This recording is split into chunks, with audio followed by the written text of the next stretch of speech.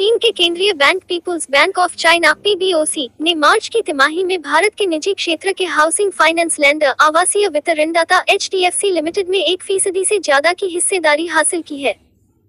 इसके लिए पीबीओसी ने एच के एक दशमलव सात पाँच करोड़ शेयर खरीदे हैं। माना जा रहा है कि यह विनिमय जनवरी से मार्च 2020 के बीच हुआ है।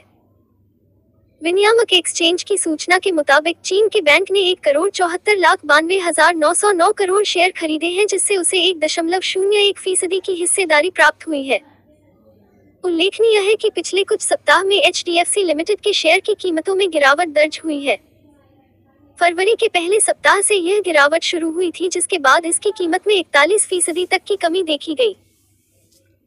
एच के उपाध्यक्ष और सीईओ के कई मिस्त्री ने कहा कि मार्च 2019 तक पीपुल्स बैंक ऑफ़ चाइना के पास शून्य दशमलव आठ शून्य प्रतिशत हिस्सेदारी थी और मार्च 2020 में इसमें शून्य दशमलव दो शून्य प्रतिशत की बढ़त हुई।